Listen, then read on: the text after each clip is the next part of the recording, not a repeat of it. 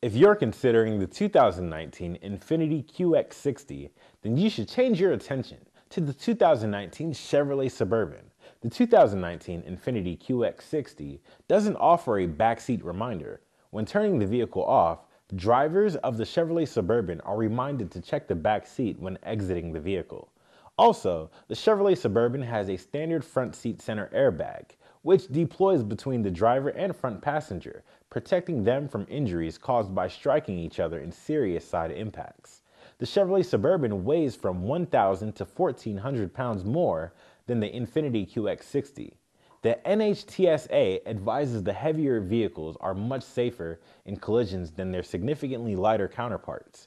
The Suburban has a standard limp home system to keep drivers from being stranded if most or all of the engine's coolant is lost. The engine will run on only half of its cylinders at a time, then it'll reduce its power and light a warning lamp on the dashboard so the driver can get to a service station for repairs. The Infiniti QX60 doesn't offer a lost coolant limp home mode, so a coolant leak could strand you or seriously damage the truck's engine.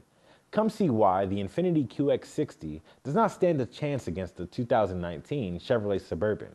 Take it home today on one of our free 48 hour test drives.